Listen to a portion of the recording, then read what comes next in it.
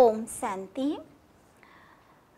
ଆଜିର ସାକାର ମହାବାକ୍ୟ ଏକୋଇଶ ସାତ ଦୁଇହଜାର ଏକୋଇଶ ମଧୁର ସନ୍ତାନମାନେ ବାବା ଆସିଛନ୍ତି ତୁମମାନଙ୍କର ଅବିନାଶୀ ଜ୍ଞାନ ରତ୍ନରେ ବୁଦ୍ଧି ରୂପୀ ଝୋଲି ଭରିବା ପାଇଁ ଏହି ଗୋଟିଏ ଗୋଟିଏ ଜ୍ଞାନର ରତ୍ନର ମୂଲ୍ୟ ଲକ୍ଷ ଲକ୍ଷ ଟଙ୍କା ପ୍ରଶ୍ନ ଗୁପ୍ତଦାନର ଏତେ ଅଧିକ ମହତ୍ଵ କାହିଁକି ରହିଛି ଉତ୍ତର କାହିଁକି ନା ବାବା ଏହି ସମୟରେ ତୁମକୁ ଗୁପ୍ତ ଦ୍ୟା- ଜ୍ଞାନ ରତ୍ନ ଦାନ ଦେଉଛନ୍ତି।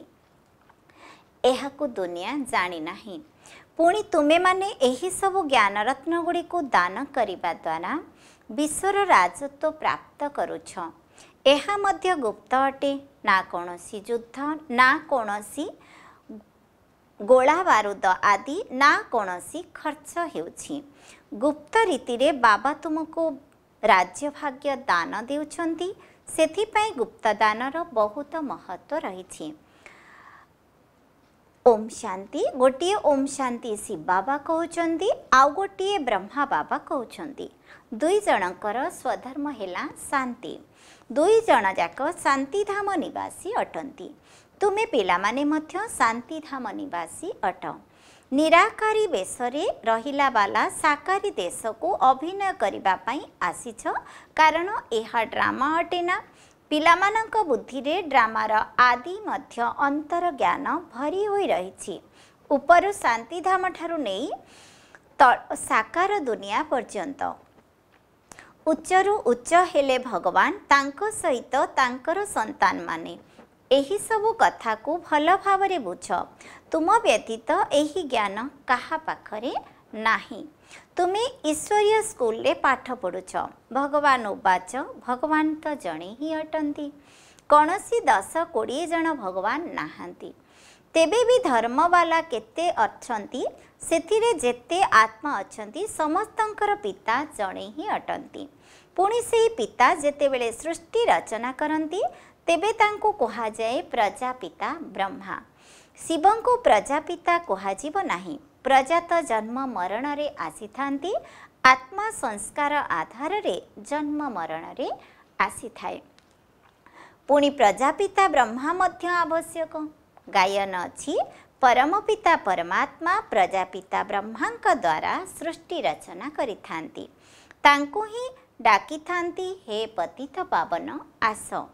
ଯେତେବେଳେ ଦୁନିଆ ପତିତ ହୋଇଯାଏ ଏବଂ ତାର ଶେଷ ସମୟ ଆସିଯାଏ ସେତେବେଳେ ହିଁ ବାବା ଆସିଥାନ୍ତି ପତିତରୁ ପାବନ କରିବା ପାଇଁ। ଏବେ ତୁମେ ଜାଣିଗଲଣି ବାବା କଳ୍ପରେ ଥରେ ମାତ୍ର ହିଁ ଆସିଥାନ୍ତି ଆଉ କେବେ ଆସି ନଥାନ୍ତି। ଏବେ ତୁମକୁ ସାରା ଜ୍ଞାନ ମିଳୁଛି। ତୁମେମାନେ ଡ୍ରାମାର ଅଭିନେତା ଅଟନା ଡ୍ରାମାର ଅଭିନେତାମାନଙ୍କୁ ସମସ୍ତଙ୍କର ଅଭିନୟ ବିଷୟରେ ଜ୍ଞାନ ରହିବା ଉଚିତ। ଯେ କେବେ କ'ଣ କ'ଣ ଅଭିନୟ ରହିଛି। ସେଗୁଡ଼ିକ ହେଲା ଅଳ୍ପ ସମୟର ଛୋଟ ଛୋଟ ଡ୍ରାମା। ସେମାନଙ୍କର ଅଭିନୟ ତ ସମସ୍ତଙ୍କୁ ଜଣାପଡ଼ି ଯାଇଥାଏ। ତୁମେ ମଧ୍ୟ ଡ୍ରାମା ଦେଖି ଆସୁଛ। ଯଦି ଚାହିଁବ ତେବେ ଲେଖିପାରିବ ମନେ ପକାଇ ପାରିବ। ତାହା ତ ଛୋଟିଆ ଡ୍ରାମା ଅଟେ। ଏହା ତ ବହୁତ ବଡ଼ ବେହଦର ଡ୍ରାମା। ଯାହାକୁ ତୁମେ ସତ୍ୟଯୁଗ ଠାରୁ ନେଇ କଳିଯୁଗ ଅନ୍ତ ପର୍ଯ୍ୟନ୍ତ ଜାଣିଛ। ଏବେ ତୁମେ ପିଲାମାନେ ଜାଣିଛ ଆମକୁ ବେହଦ ପିତାଙ୍କ ଠାରୁ ବେହଦର ସମ୍ପତ୍ତି ମିଳୁଛି। ପୁଣି ହଦର ପିତାଙ୍କ ଠାରୁ ହଦର ସମ୍ପତ୍ତି ମିଳୁଛି। ବାବା ବୁଝାଇଥିଲେ ଦ୍ୱାପର କଳିଯୁଗରେ ଯେଉଁମାନେ ରାଜା ହେଉଛନ୍ତି ସେମାନେ ପୂର୍ବ ଜନ୍ମରେ ଦାନ ପୁଣ୍ୟ ଆଦି କରିବା ଦ୍ୱାରା ଗୋଟିଏ ଜନ୍ମ ପାଇଁ ରାଜା ହୋଇଥାନ୍ତି। ଏପରି ନୁହେଁ ଯେ ସେମାନେ ପରବର୍ତ୍ତୀ ଜନ୍ମରେ ମଧ୍ୟ ରାଜା ହେବେ। ତୁମେମାନେ ଯିଏକି ସତ୍ୟଯୁଗରେ ରାଜା ମହାରାଜା ଥିଲ ଏପରି ଭାବ ନାହିଁ ଯେ ତୁମର ରାଜତ୍ୱ କୁଆଡ଼େ ଚାଲିଯାଇଛି ପୁଣି ଯେତେବେଳେ ଭକ୍ତି ମାର୍ଗ ଆରମ୍ଭ ହେଉଛି ସେତେବେଳେ ମଧ୍ୟ ସେମାନେ ଯଦି ଅଧିକ ଦାନ ପୁଣ୍ୟ କରନ୍ତି ସେମାନେ ମଧ୍ୟ ରାଜ୍ୟ ଭାଗ୍ୟ ପ୍ରାପ୍ତ କରିଥାନ୍ତି। କିନ୍ତୁ ସେମାନେ ପୁଣି ବିକାରୀ ରାଜା ହୋଇଯାଆନ୍ତି। ତୁମେମାନେ ହିଁ ଯେଉଁମାନେ କି ପୂଜ୍ୟ ଥିଲ ସେହିମାନେ ହିଁ ପୂଜାରୀ ହୋଇଛ। ଭକ୍ତି ମାର୍ଗରେ ହେଉଛି ଅଳ୍ପ କାଳର ସୁଖ। ଦୁଃଖ ତ କେବଳ ବର୍ତ୍ତମାନ ହିଁ ମିଳୁଛି। ଏବେ ତମ ପ୍ରଧାନ ଅବସ୍ଥାରେ ମଧ୍ୟ ତୁମକୁ ସୁଖ ମିଳୁଛି। ଏଠାରେ କୌଣସି ଲଢ଼େଇ ଝଗଡ଼ାର କଥା ନାହିଁ। ଏସବୁ ତ ପରେ ହୋଇଥାଏ। ଯେତେବେଳେ ଲକ୍ଷ ଲକ୍ଷ ସଂଖ୍ୟାରେ ମନୁଷ୍ୟ ହୋଇଯାଆନ୍ତି। ସେତେବେଳେ ଲଢ଼େଇ ଆଦି ଆରମ୍ଭ ହୋଇଯାଏ। ତୁମେ ପିଲାମାନଙ୍କୁ ତ ସତ୍ୟଯୁଗ ତ୍ରେତା ଦ୍ୱାପରରେ ମଧ୍ୟ ସୁଖ ମିଳିଥାଏ। ଯେତେବେଳେ ତମ ପ୍ରଧାନ ଅବସ୍ଥା ଆରମ୍ଭ ହୋଇଯାଏ ସେତେବେଳେ କିଛି କିଛି ଦୁଃଖ ଅନୁଭବ ହୁଏ। ଏବେ ତ ତମ ପ୍ରଧାନ ଅବସ୍ଥା ହିଁ ଅଟେ। ବାବା ବୁଝାଉଛନ୍ତି ଏହା ତ ତମ ପ୍ରଧାନ ଦୁନିଆ। ତୁମେ ଜାଣିଛ ଏହା ବେହଦର ଡ୍ରାମା। ଏଥିରୁ କେହି ବି ମୁକ୍ତି ପାଇପାରିବେ ନାହିଁ। ମନୁଷ୍ୟ ଯେତେବେଳେ ଦୁଃଖରେ ବିବ୍ରତ ହୋଇଯାଆନ୍ତି ସେତେବେଳେ କହିଦିଅନ୍ତି ଭଗବାନ ଏପରି ଖେଳ କାହିଁକି ରଚନା କରିଛନ୍ତି? ଯଦି ଭଗବାନ ରଚନା କରିନଥାନ୍ତେ ତେବେ ଦୁନିଆ ହିଁ ନଥାନ୍ତା କିଛି ବି ନଥାନ୍ତା ରଚୟିତା ଏବଂ ରଚନା ତ ଅଛନ୍ତି ନା। ସେ ବିଷୟରେ ବିସ୍ତୃତ ଜ୍ଞାନ ମଧ୍ୟ ରହିଛି। ସତ୍ୟଯୁଗ ଠାରୁ କଳିଯୁଗ ଅନ୍ତ ପର୍ଯ୍ୟନ୍ତ ଆଉ ଅଳ୍ପ ଦିନ ବାକି ଅଛି। ତୁମେମାନେ ମଧ୍ୟ ବାସ୍ତବରେ ଦେଖିବ ସମୟ ପୂର୍ବରୁ ତ ଦେଖାଇବେ ନାହିଁ ନା। ପାଞ୍ଚ ହଜାର ବର୍ଷର ଚକ୍ର ଶେଷ ହେବା ପାଇଁ ଆଉ ଅଳ୍ପ ସମୟ ବାକି ଅଛି। ସେତେବେଳେ ଦୃଶ୍ୟ ଏବେଠାରୁ ତ ଦେଖିବାକୁ ଦିଆଯିବ ନାହିଁ। ଯେତେବେଳେ ହେବ ସେତେବେଳେ ତାକୁ ସାକ୍ଷୀ ହୋଇ ଦେଖିବ। ଯାହା ହେବାର ଅଛି ତାହା କଳ୍ପ ପୂର୍ବ ଭଳି ହେବ। ଏହା ତ ତୁମେ ଦେଖୁଛ ଯେ କିପରି ସବୁ ପ୍ରସ୍ତୁତି ଚାଲିଛି। ବିନାଶ ତ ନିଶ୍ଚିତ ହେବ ସବୁ ପ୍ରକାରର ପ୍ରସ୍ତୁତି ଚାଲିଛି। ସେଗୁଡ଼ିକୁ ପ୍ରଥମରୁ ହିଁ ଡ୍ରାମାରେ ନିର୍ଦ୍ଧାର୍ଯ୍ୟ ଅଛି ବିନାଶ ନିଶ୍ଚିତ ହେବ।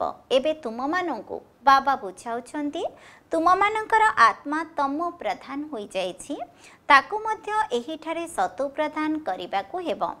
ଏକଥା ତୁମେ ବର୍ତ୍ତମାନ ଜାଣୁଛ। ବାବା ଗୁପ୍ତ ରୂପରେ ଆସୁଛନ୍ତି ଗୁପ୍ତ ରୂପରେ ହିଁ ତୁମକୁ ଜ୍ଞାନ ଦେଉଛନ୍ତି। ଦୁନିଆରେ କେହି ଏକଥା ଜାଣିନାହାନ୍ତି।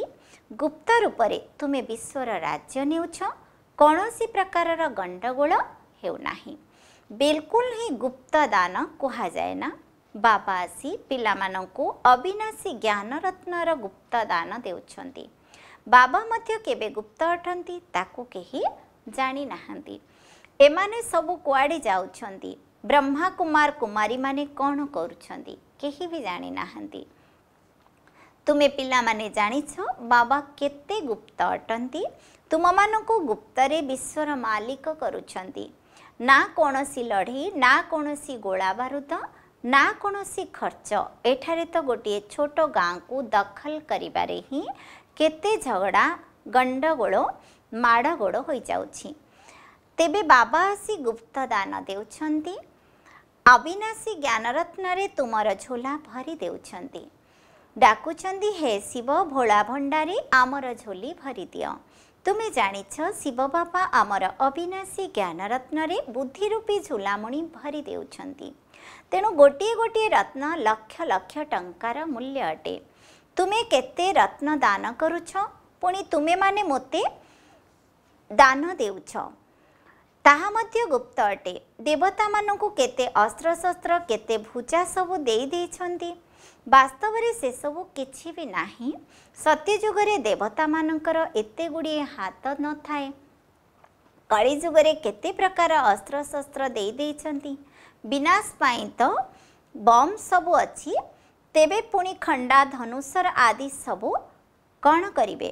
ତୁମେ ବହୁତ ଜ୍ଞାନର ଖଡ଼ଗ ଜ୍ଞାନର ତରବାରୀ ତେଣୁ ତୁମେ କହୁଛ ଜ୍ଞାନର ଖଡ଼ଗ ଜ୍ଞାନର ତରବାରୀ ତେଣୁ ସେମାନେ ଏହାକୁ ଅସ୍ତ୍ରଶସ୍ତ୍ର ବୁଝି ନେଇଛନ୍ତି। ବାସ୍ତବରେ ସେସବୁ କିଛି ବି ନୁହେଁ।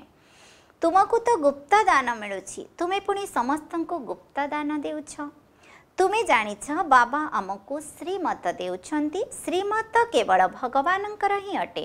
ତୁମେ ଜାଣିଛ ଆମେ ନରରୁ ନାରାୟଣ ହେବା ପାଇଁ ଆସିଛୁ। ତାଙ୍କୁ ସର୍ବଗୁଣ ସମ୍ପନ୍ନ ଷୋଳକଳା ସମ୍ପୂର୍ଣ୍ଣ ଦୈବୀ ଗୁଣଧାରୀ କୁହାଯାଏ। ଦୈବୀ ଗୁଣ କେବଳ ସେହି ଦେବୀ ଦେବତାମାନଙ୍କ ପାଖରେ ଥାଏ ପୁଣି ଧୀରେ ଧୀରେ କଳା କମି ଯାଇଥାଏ। ଯେପରି ପୂର୍ଣ୍ଣ ଚନ୍ଦ୍ରମାର ଆଲୋକ ବହୁତ ଭଲ ଥାଏ ପୁଣି ଧୀରେ ଧୀରେ କମିଯାଏ। କମି କମି ବାକି ଏକଦମ ପତଳା ରେଖା ସଦୃଶ ରହିଯାଏ ସମ୍ପୂର୍ଣ୍ଣ ସମାପ୍ତ ହୋଇଯାଏ ନାହିଁ। ଗାର ଭଳି ନିଶ୍ଚିତ ରହିଥାଏ ଯାହାକୁ ଅମାବାସ୍ୟା କୁହାଯାଏ। ଏବେ ତୁମର ହେଲା ବେହଦର କଥା। ତୁମେ ଷୋଳକଳା ସମ୍ପୂର୍ଣ୍ଣ ହେଉଛ। ଦେଖାଉଛନ୍ତି କୃଷ୍ଣଙ୍କ ମୁଖରେ ମାତାମାନେ ଚନ୍ଦ୍ରମା ଦେଖିଥିଲେ। ଏସବୁ ହେଲା ସାକ୍ଷାତକାର କଥା ଯାହାର ଜ୍ଞାନ ବାବା ଆସି ଦେଉଛନ୍ତି। ଏବେ ତୁମକୁ ସମ୍ପୂର୍ଣ୍ଣ ହେବାର ଅଛି। ମାୟାର ସମ୍ପୂର୍ଣ୍ଣ ଗ୍ରହଣ ଲାଗିଯାଇଛି। ବାକି ଧାରଟିଏ ରହିଯାଇଛି। ସିଡ଼ିରେ ଖସି ଖସି ଆସିଛ। ସମସ୍ତଙ୍କୁ ସିଡ଼ିର ଖସିବାକୁ ହେବ ତେବେ ଯାଇ ପୁଣି ସମସ୍ତଙ୍କୁ ଫେରି ଯିବାକୁ ହେବ। ତୁମେ ତ ଏବେ ଅଳ୍ପ ସଂଖ୍ୟାରେ ଅଛ ଆସ୍ତେ ଆସ୍ତେ ତୁମର ବୃଦ୍ଧି ହେବ। ପାଠପଢ଼ାରେ ବହୁତ ପିଲା ପାସ୍ ହୋଇଯାଇଥାନ୍ତି। ତୁମର ତୁମର ସେଣ୍ଟର ଗୁଡ଼ିକ ମଧ୍ୟ ଧୀରେ ଧୀରେ ବୃତ୍ତିକୁ ପ୍ରାପ୍ତ କରି ଆସି ଚାଲିଛନ୍ତି। ସେତେବେଳେ ସମୟ ନିକଟତର ହୋଇଯିବ। ଯେତେବେଳେ ଯାଇ ବୁଝିବେ ଏମାନଙ୍କ ପାଖରେ କ'ଣ ଅଛି ଦିନକୁ ଦିନ ବୃଦ୍ଧି ପ୍ରାପ୍ତ ହୋଇ ଚାଲିବ। ଏବେ କହିଛନ୍ତି କହୁଛନ୍ତି ଆମେ ଭାବୁଥିଲୁ ଏମାନଙ୍କ ସଂସ୍ଥା ଆଉ କେତେ ଦିନ ପର୍ଯ୍ୟନ୍ତ ଚାଲିବ ବନ୍ଦ ହୋଇଯିବ। ଆରମ୍ଭ ସମୟରେ ଏହି ଭୟରେ ବହୁତ ପିଲା ଚାଲିଗଲେ। କିଏ ଜାଣେ କ'ଣ ହେବ? ନା ଏଠିକାର ହେବ ନା ସେଠିକାର ହେବ। ଏହା ଅପେକ୍ଷା ପଳାଇ ଯିବା ଭଲ। ଯେତେବେଳେ ଚାଲିଗଲେ ପୁଣି ସେମାନଙ୍କ ଭିତରୁ କେହି କେହି ଏବେ ଆସୁଛନ୍ତି। ବାବା ଆସି କେତେ ସହଜ ରୀତିରେ ବୁଝାଉଛନ୍ତି। ଏହି ଅବଳାମାନଙ୍କୁ କୌଣସି ଅସୁବିଧା ହେଉନାହିଁ। ଦେଉନାହାନ୍ତି। ଏମାନଙ୍କର ମଧ୍ୟ ଉଦ୍ଧାର ହେବାର ଅଛି ନା? ଜାଣୁଛନ୍ତି ବାବା ଆମେ ତ କିଛି ଲେଖାପଢ଼ା କରିନାହୁଁ। ବାବା କହୁଛନ୍ତି ଯଦି କିଛି ବି ନ ପଢ଼ିଛ ତେବେ ବହୁତ ଭଲ। ଶାସ୍ତ୍ର ଆଦି ଯାହା କିଛି ବି ପଢ଼ିଛ ସେସବୁ ଭୁଲିଯାଅ। ମୁଁ କିଛି ଅଧିକ ପାଠ ପଢ଼ାଉ ନାହିଁ। କେବଳ କହୁଛି ମୋତେ ମନେ ପକାଅ ତେବେ ବିଶ୍ୱର ରାଜ୍ୟ ଭାଗ୍ୟ ତୁମର। ବାସ୍ ତୁମର ନୌକା ପାର ହୋଇଯିବ। ପୁତ୍ର ଜନ୍ମ ହେଲା ପରେ ବାପା ବୋଲି କହିଥାଏ। ବାସ୍ ସମ୍ପତ୍ତିର ହକଦାର ହୋଇଯାଇଥାଏ। ଏଠାରେ ମଧ୍ୟ ତୁମେ ହକଦାର ହୋଇଯାଇଛ। ବାପଦାଦାଙ୍କୁ ୟାଦ କର ଏବଂ ରାଜଧାନୀ ତୁମର ହୋଇଗଲା। ସେଥିପାଇଁ ଗାୟନ ଅଛି। ଗୋଟିଏ ସେକେଣ୍ଡରେ ଜୀବନ ମୁକ୍ତି ସାହୁକାର ଲୋକମାନଙ୍କର ଶେଷ ବେଳକୁ ପାଠ ଅଛି। ପ୍ରଥମେ ଗରିବମାନଙ୍କର ପାଳି। ସେମାନେ ତୁମ ପାଖକୁ ଆପେ ଆପେ ଆସିବେ। ତ ମେହେନ୍ତରମାନଙ୍କର ମଧ୍ୟ ଉଦ୍ଧାର ହେବାର ଅଛି। ସବରୀର ମଧ୍ୟ ଗାୟନ ରହିଛି। କହୁଛନ୍ତି ରାମ ସବରୀର କୋଳି ଖାଇଥିଲେ।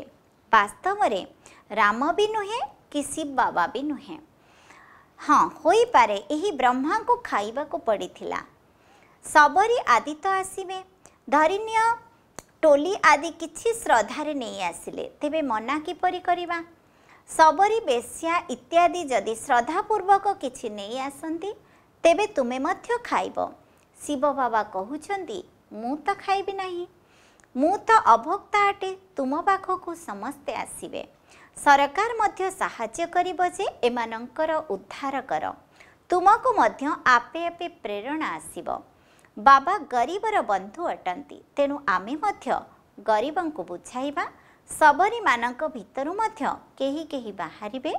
ଏବେ ବଡ଼ ବୃକ୍ଷ ଅଟେ। ଏଥିରେ କେହି ଜଣେ ବି ଦେବୀ ଦେବତା ଧର୍ମର ନାହାନ୍ତି।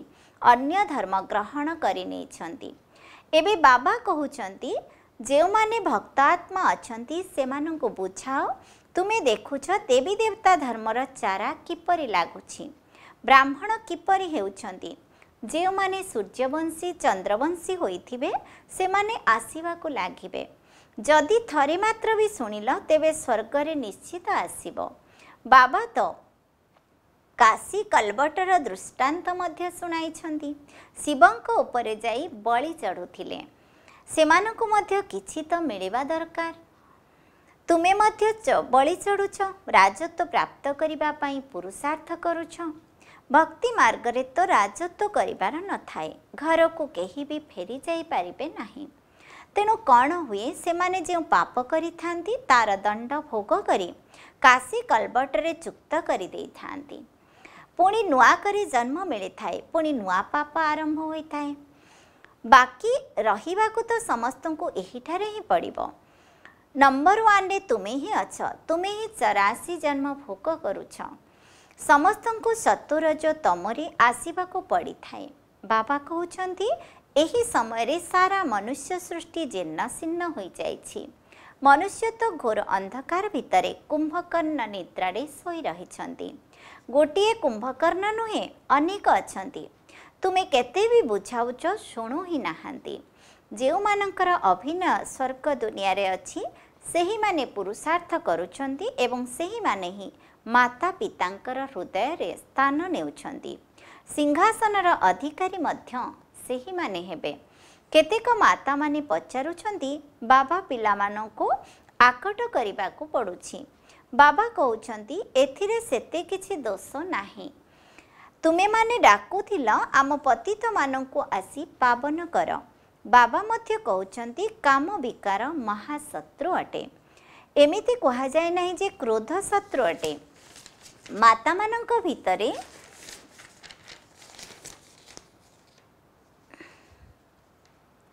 ସେତେଟା କ୍ରୋଧ ନଥାଏ। ପୁରୁଷମାନେ ବହୁତ ଲଢ଼େଇ କରନ୍ତି। ଏବେ ବାବା ମାତାମାନଙ୍କୁ ଆଗକୁ ବଢ଼ାଉଛନ୍ତି। ବନ୍ଦେ ମାତରମ୍। ନଚିତ୍ ମାତାମାନଙ୍କୁ କହିଥାନ୍ତି ପତି ହିଁ ତୁମର ଗୁରୁ ଈଶ୍ୱର ଅଟନ୍ତି। ତାଙ୍କ ମନରେ ମତରେ ଚାଲିବାର ଅଛି। ହସ୍ତଗଣ୍ଠି ପଡ଼ିଲା ମାତ୍ରେ ତୁରନ୍ତ ପତିତ ହୋଇଥାନ୍ତି। ତେବେ କ'ଣ ତାଙ୍କୁ ଏହିଭଳି ଈଶ୍ୱର ମିଳିବେ? ବର୍ତ୍ତମାନ ରାମରାଜ୍ୟର ସ୍ଥାପନା ହେଉଛି ବାକି ସମସ୍ତେ ମରିବାକୁ ଲାଗିବେ। ବାବା ବୁଝାଉଛନ୍ତି ବିନାଶ କାଳରେ ବିପରୀତ ବୁଦ୍ଧି। ବିନାଶ କାଳରେ ପ୍ରୀତ ବୁଦ୍ଧି। ତୁମମାନଙ୍କର ପରମ ପିତା ପରମାତ୍ମାଙ୍କ ସହିତ ପ୍ରୀତ ବୁଦ୍ଧି ରହିଛି। ତୁମର ଆତ୍ମା ଜାଣିଛି ଯେ ଶିବ ବାବା ଆଙ୍କ ଶରୀରରେ ଆସୁଛନ୍ତି। ୟାଙ୍କ ଦ୍ୱାରା ଆମେ ଶୁଣୁଛୁ। ଏତେ ଛୋଟ ବିନ୍ଦୁ ଅଟନ୍ତି। ଶିବ ବାବାଙ୍କର ଇଏ ଅସ୍ଥାୟୀ ରଥ ଅଟନ୍ତି ୟାଙ୍କ ଦ୍ୱାରା ବାବା ଏହି ରୁଦ୍ର ଜ୍ଞାନ ଯଜ୍ଞ ରଚନା କରିଛନ୍ତି। ଯାହାକି ବଢ଼ି ବଢ଼ି ଚାଲିବ ପିଲାମାନଙ୍କର ବୁନ୍ଦା ବୁନ୍ଦା ସହଯୋଗରେ ହୁଣ୍ଡି ଭରି ଚାଲିବ। ପିଲାମାନେ ନିଜର ସବୁକିଛି ସଫଳ କରି ଚାଲିଛନ୍ତି। କାରଣ ଜାଣିଛନ୍ତି ଏସବୁ ତ ମାଟିରେ ମିଶିଯିବ କିଛି ବି ରହିବାର ନାହିଁ। ଅତି କମ୍ରେ ଏତିକି ତ ସଫଳ ହୋଇଯାଉ। ସୁଦାମାର ମଧ୍ୟ ଦୃଷ୍ଟାନ୍ତ ଅଛି ନା? ମାତାମାନେ ବାବାଙ୍କ ପାଖକୁ ଚାଉଳ ମୁଠାଏ ବା ଛଅ ଆଠ ଟଙ୍କା ପଠାଇ ଦେଉଛନ୍ତି। ବାବା କହୁଛନ୍ତି ବଞ୍ଚ ଝିଅ ବାବା ଦୀନବନ୍ଧୁ ଅଟନ୍ତି ନା? ବାବା କହୁଛନ୍ତି ବାହା ଝିଅ ବାବା ଦୀନବନ୍ଧୁ ଅଟନ୍ତି ନା? ଏହା ସବୁ ଡ୍ରାମାରେ ନିର୍ଦ୍ଧାର୍ଯ୍ୟ ଅଛି। ପୁଣି ବି ହେବ ବନ୍ଧନଯୁକ୍ତ ମାତାମାନେ ଅଛନ୍ତି ବାବା କହୁଛନ୍ତି ତୁମେ ଭାଗ୍ୟଶାଳୀ ଅଠ। ଶିବ ବାବାଙ୍କର ପରିଚୟ ତ ମିଳିଲା ନା। ଗୋଟିଏ ସମୟ ଆସିବ ଯେତେବେଳେ ଆର୍ଯ୍ୟ ସମାଧି ଆଦି ସମସ୍ତେ ଆସିବେ। ଯିବେ କୁଆଡ଼େ? ମୁକ୍ତି ଜୀବନ ମୁକ୍ତିର ହାଟ ତ ଗୋଟିଏ। ଦଣ୍ଡ ଭୋଗ କରି ସମସ୍ତଙ୍କୁ ମୁକ୍ତି ଧାମ ଯିବାର ଅଛି। ଏହା ହେଉଛି ଅନ୍ତିମ ମହାବିନାଶ ସମୟ। ସମସ୍ତେ ଘରକୁ ଫେରିବେ। ଏହା ହେଉଛି ପତିଙ୍କର ବରଯାତ୍ରୀ। କିପରି ସବୁ ବରଯାତ୍ରୀ ଯିବେ ଏହା ମଧ୍ୟ ସାକ୍ଷାତକାର ହେବ। ତୁମ ବ୍ୟତୀତ ଆଉ କେହି ଏହା ଦେଖିପାରିବେ ନାହିଁ। ଆଚ୍ଛା ଧାରଣା ପାଇଁ ମୁଖ୍ୟ ସାରାଂଶ ଏକ ନମ୍ବର। ବାବାଙ୍କ ଦ୍ୱାରା ଜ୍ଞାନର ଯେଉଁ ଗୁପ୍ତ ଦାନ ମିଳିଛି ତାର ମୂଲ୍ୟକୁ ବୁଝି ନିଜର ବୁଦ୍ଧିରୂପୀ ଝୁଲାମୁଣିକୁ ଜ୍ଞାନ ରତ୍ନରେ ଭରପୁର କରିବାର ଅଛି। ସମସ୍ତଙ୍କୁ ଗୁପ୍ତ ଦାନ ଦେଇ ଚାଲିବାର ଅଛି। ଦୁଇ ନମ୍ବର। ଏହି ମହାବିନାଶ ସମୟରେ ଘରକୁ ଫେରିବାର ଅଛି ତେଣୁ ନିଜର ସବୁକିଛି ସଫଳ କରିବାର ଅଛି। ପ୍ରୀତ ବୁଦ୍ଧି ହେବାର ଅଛି ମୁକ୍ତି ଏବଂ ଜୀବନ ମୁକ୍ତିର ରାସ୍ତା ସମସ୍ତଙ୍କୁ ଦେଖାଇବାର ଅଛି। ବରଦାନ ସତ୍ୟତାର ଶକ୍ତି ଦ୍ୱାରା ପ୍ରକୃତି ବା ବିଶ୍ୱକୁ ସତୁ ପ୍ରଦାନ କରୁଥିବା ମାଷ୍ଟର ବିଶ୍ୱବିଖ୍ୟାତା ହୁଅ। ଯେତେବେଳେ ତୁମେମାନେ ସତ୍ୟତାର ଶକ୍ତିକୁ ଧାରଣ କରି ମାଷ୍ଟର ବିଧି ବିଧାତା ହେଉଛ ଆଜିର ବରଦାନ ସତ୍ୟତାର ଶକ୍ତି ଦ୍ୱାରା ପ୍ରକୃତି ବା ବିଶ୍ୱକୁ ସତୋପ୍ରଦାନ କରୁଥିବା ମାଷ୍ଟର ବିଧି ବିଧାତା ହୁଅ। ଯେତେବେଳେ ତୁମେମାନେ ସତ୍ୟତାର ଶକ୍ତିକୁ ଧାରଣ କରି ମାଷ୍ଟର ବିଧି ବିଧାତା ହେଉଛ ପ୍ରକୃତି ମଧ୍ୟ ସତୋପ୍ରଧାନ ହୋଇଯାଉଛି। ଯୁଗ ସତ୍ୟଯୁଗ ହୋଇଯାଉଛି। ସର୍ବ ଆତ୍ମାମାନେ ସଦ୍ଗତିର ଭାଗ୍ୟ ପ୍ରାପ୍ତ କରୁଛନ୍ତି।